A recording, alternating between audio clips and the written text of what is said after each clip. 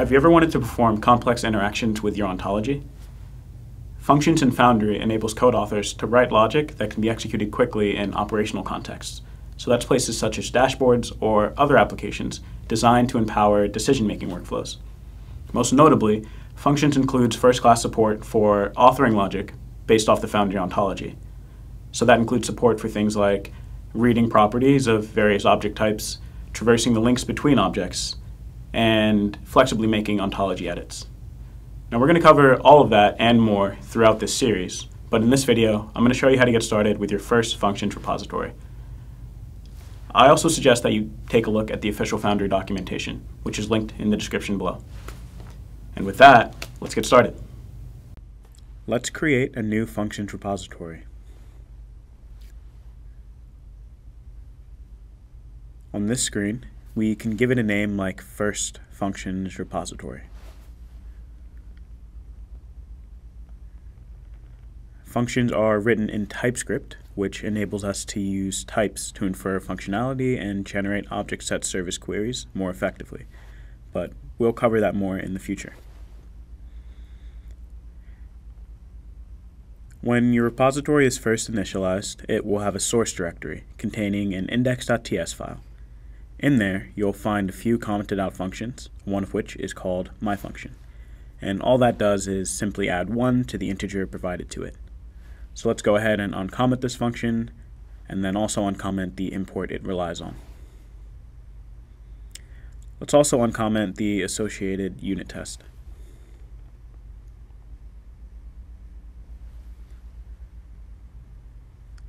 Now that the code is uncommented, Code Assist will pick it up. So we can see it in the live preview tab of the functions helper. There, we can give it some test inputs and see what the output would be. Let's go ahead and commit these code changes.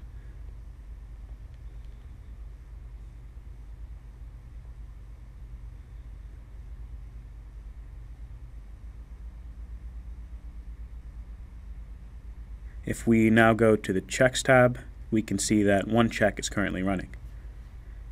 Checks are kicked off for every commit and will validate the state of your repository. If you choose to write unit tests, it will run those as well. Once the check is successful, if we click on the Code tab again and then open the Functions helper, we can see that the Publish tab is empty, but My function is available in the live preview. So let's walk through how to publish a new version of our repository. We can do so by cutting a tag with a new version number. If we now go to branches and then to tags, we can see that checks for this new tag have been kicked off.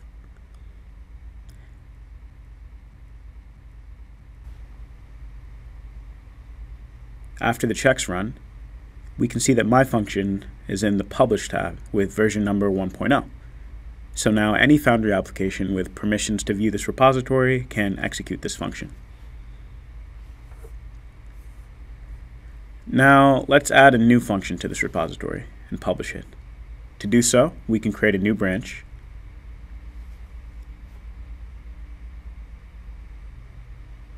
and then let's add some code to the myFunctions class.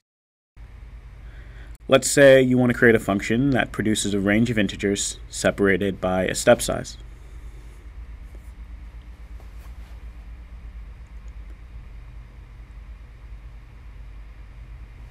After you've added the new function, you can run it immediately in the functions helper using the live preview feature.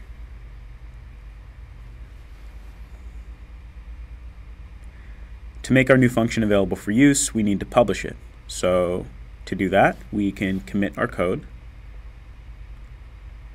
And then we can open a pull request to merge our branch into master.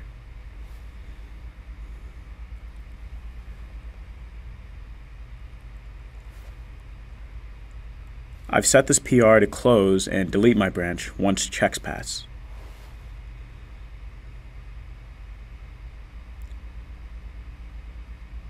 Finally, we can update master with the code changes and then tag a new version off the master branch. This time we can use a tag like 2.0.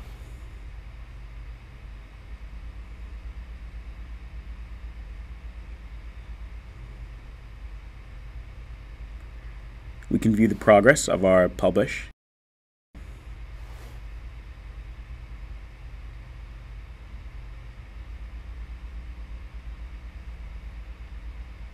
And now if we go back to code and check the publish tab, we can see that both our functions are published with version 2.0.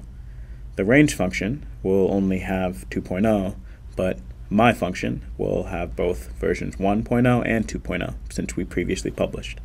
All applications you use in Foundry uh, with access to this repository can choose between which version they'd like to use. Congratulations! You've now created your first TypeScript functions repository.